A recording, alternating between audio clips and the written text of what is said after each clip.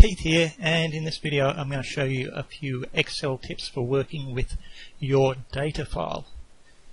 And these are in no particular order. One that's handy to do is to go and right justify the first row, perhaps not the first cell, let's put that one back left, maybe center. And then the labels, column variable labels, will line up the numbers. You can also center the whole spreadsheet, um, but then that makes numbers look a bit funny. Another thing is to put the cursor there, or select that cell, and head over to View, Freeze Panes, Freeze Panes. And now what that means is that I keep my column headings and rows if I scroll around in the spreadsheet. Okay, what else have I got on my list? Oh, um, I need now to add in some categorical variables. And I'm going to put in rep. I actually can't remember what order I'll call this IBC for impact versus control and I'll call this one site. Um, because I can't quite remember. So replicates 1, 2, oh I do get so tired of doing the same thing. Let me select that and drag to get the full set. Um, now each site here has five reps, so I may as well copy and paste. There we go. Uh, I wonder if Excel has got any other tricks. What if I select the two lots and drag? Oh, that's very odd. What's happening there? What Excel is trying to do there is actually run a regression line through those points and predict the next ones in the series. Now, that's obviously not what I want to do. So sometimes when Excel doesn't want to do what you want to do, you can hold down the control key. And you see, now remember, the little black box here, and I'm putting the cursor over that, hold down the control key, it says plus and let's see what happens now. Yes, it's just repeated the whole series. I'm liking Excel a bit better. There we go, and the next one will be 2. Um, what happens if I drag here? Oh, well, yeah, no, no, no, no, no, it's not working at all, not working at all. Um, let me just put a 2 in there and no, still doesn't want to do it.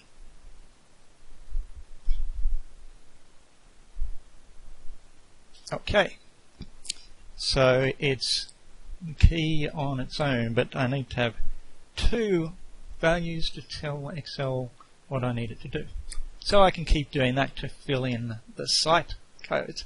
But again, I am rather lazy, so there's kind of a quicker way equals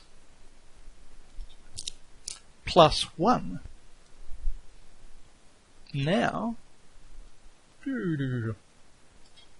whoops, got to select the cell. There we go. Easier. Um, now, impact, and um, let's just set this whole column to be right.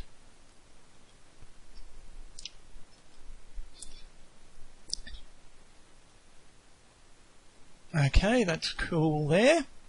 Next will be control, so C, whoops, CO.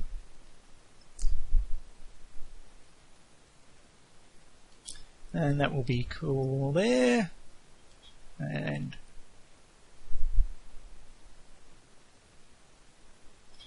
done. There are things, there are ways, reasons why I do like Excel for data manipulation, not for graphing and not so much for analysis, although I will show you a bit, but for this sort of stuff, it's really excellent. Now, this um, that red there is not really accurate, and as you've seen in the other videos, it's often handy to have the rows labeled with something meaningful because then you can get those labels plotted onto graphs, particularly in PAST. So let me introduce you to concatenate. Concatenate. hit tab and it will expand. Now, concatenate pins stick together. So what I'm going to do is first I want that and I'm working in the same row where I've typed in that formula or started to type in that formula. Put in a comma, that, put in a comma. Now I like to do selective, uh, highlight things a little bit here, so I'm going to put quotes, dash, quotes, comma, that, okay, and there we go. drag that down and I've got labels which identify uh, impact versus control, site and replicate. Aren't we good? Aren't we clever? Okay, so that's concatenate. Now Excel can do some calculations for you and this works for either rows or columns. Now here it probably doesn't make too much sense to do an average across the rows because they're all different kinds of things, though you could get an average species abundance. So you can see there, all I need to do is add in the bracket and I'm getting the average depth across the whole area. And if I drag across, let's just do the environmental variables, species number and a total. I get the averages. Now, back on home, this little one is helpful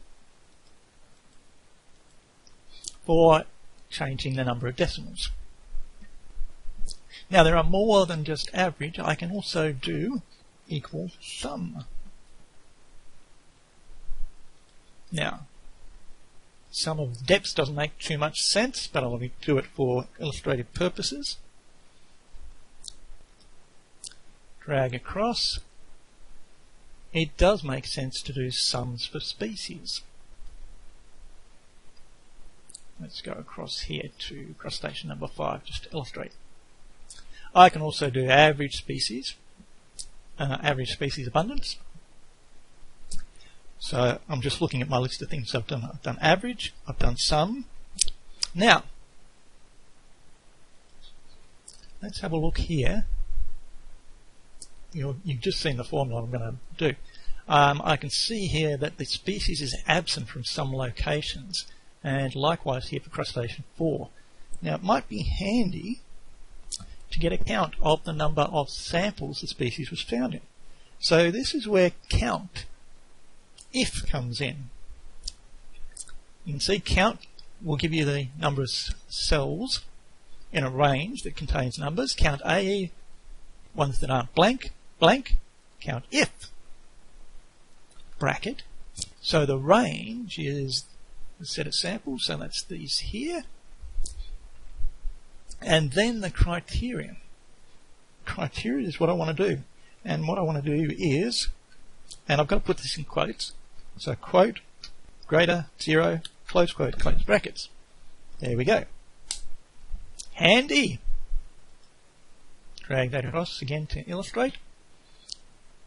So for those five species, two were present in all samples, one was present in 26, one was present in 25, and crustacean 4 was only present in 19, which is a little bit over half the samples. So that is good. Now, sometimes you want to have a quick look at the data or have something that gives you a quick indication of what's going on. And here, conditional formatting is your friend. Now I'm just going to select the samples for the hydrocarbons.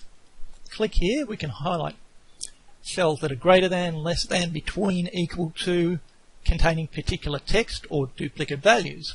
We can also highlight the top 10, above average, below average, and so on. We can also do data bars, which is what I'm going to look at. Color scales and icon sets I haven't found to be too useful but Excel will actually give you a demo of what it's going to look like if I do that. Isn't that nifty? Now I can just run my eye down and see quite easily which samples have the higher levels of hydrocarbon. So I've got my impacts and controls mixed up, haven't I? So let's fix that by doing a search. Control H, replace. Now you've got to be careful here because if I replace impact with control and then try to replace control with control, it ain't going to work. So I usually stick a, a symbol and then I can go through and get rid of those. So CO now go to IM, but options match entire cell contents. Otherwise, it'll match the CO at. Now it's only going to place the, replace the ones that are CO. Finally, I can go CO at, replace with CO, and I've got things sorted. And what helped me get that sorted out? It was actually using conditional formatting down here. Let's look at another example. Let's go down here. Actually, I'll, let's work with a tote. Uh, est, a tote. Now, I don't actually know whether you have to do this. I think you have to do this separately for the different um, sets of data you want. Um, right, top, bottom, above average. Let's have below average. There we go. So now I can look and say, oh, look at that. The below average sites, in terms of abundance total, are matching up exactly, or almost exactly, with the amount of oil that are present. Now these, this one here, obviously, site here is obviously getting less oil than this one, and less oil than this one. Okay, that's everything on my list in terms of formatting and so on. We can also do some analyses. So um, now, in order to do these, uh, where do I need to go? I need to go into File, Options. Now, this will depend on the version of Excel you've got running. Um, Add-ins.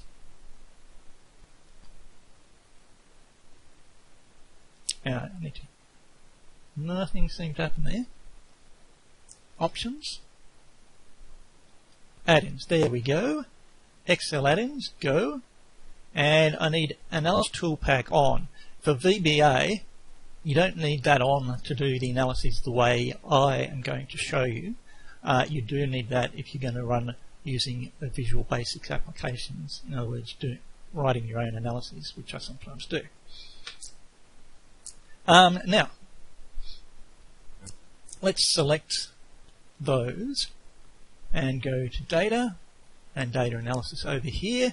And these are the things I can do. ANOVA single factor, two factor with and without replication. Correlation descriptive stats. Um, the next one's not so interesting. Then we've got t-tests. We've got regression. And that's about it. So let's go here for correlation. Input range now let's see, I think I can do multiples here. And remember I'm just selecting the data, not the summaries. Labels are in the first row, it's grouped by columns. Uh, let's put it onto a new worksheet please. And there we are, with correlations between all the pairs of variables. Now normally I wouldn't do a great deal of analysis in Excel because things like PAST, Excel stats, Minitab, PSPP are more useful. Now, um, let me illustrate just one other, um, and I don't have to select, keep forgetting I don't have to select the data because it will come up in here. Regression. For ANOVA instant, incidentally, you've got to have the data set up in the right way that Excel understands it. So it's actually easier to use Excel stats or PAST. Regression, so input Y and X. So what I'm going to do is I want to see if I can predict the number of species from the environmental variables. So this is a multiple regression. We do have labels. I'm not don't need to fiddle with any of that. Um, I'll put on residual plots. I won't get the residuals actually coming out. I'll get normal probability plots. Okay, calculating it. There we go. So, um, let's go through it bit by bit. And it helps to expand out that column. This is a multiple regression, so I'm trying to predict the number of species from depth, sediment, nutrients, and hydrocarbon. So the multiple R is the correlation we get including all of those variables. 0.97 effectively, so it's very high. Um, and the R squared, which is the amount of variation in number of species predicted by those variables, is 93%. Uh, the adjusted R squared takes into account the fact that we're using more than one predictor variable, and it's characteristic of regression that as you increase the number of predictors, the R squared goes up. Um, the an, an, table of ANOVA down here is testing the significance of the regression. So the total variation in number of species is divided up into the bit that's due to the regression and the residual. Much as in one factor ANOVA, we get an F value and we get a P value. Now that P value is 3.59 e to the minus 14, which means it's 14 zeros, sorry, I should say 0.13 zeros 359. Very tiny, much less than 0.05. So the regression as a whole is significant. That does not mean, however, that each individual variable is doing anything. Let's go down here and look at the values. For depth, p-value associated with that is greater than 0.05, so it's not significant. Likewise for sediment, likewise for nutrients only the hydrocarbon variable is actually significant. Now one thing you've got to remember or know about multiple regressions is that the results you get depend on the variables you put in.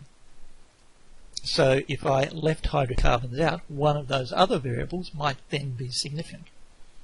Likewise, if I leave out depth, the results for sediment and nutrients contained.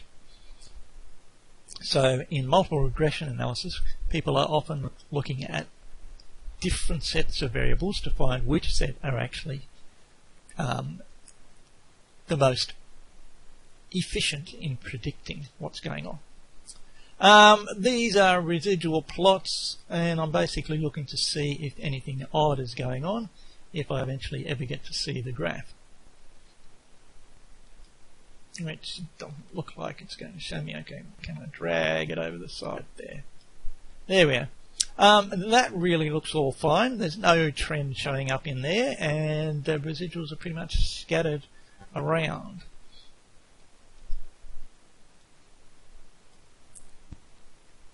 Yeah, it's helpful, isn't it? I think that's due to the mode I'm operating. That looks fine. Depth looks fine and hydrocarbons look fine, though there's a couple of big, uh, um, big residuals because there are a couple of samples which have large value of hydrocarbon. The normal probability plot, we're looking for this to be on a straight line if the observations are normally distributed, and pretty much they aren't. But then for numbers of species, um, we wouldn't necessarily expect them to be normally distributed. So I'm not terrifically concerned by that. Um, and I expect the results to be reliable. Okay, so that's a few things you can use to get started just having a quick look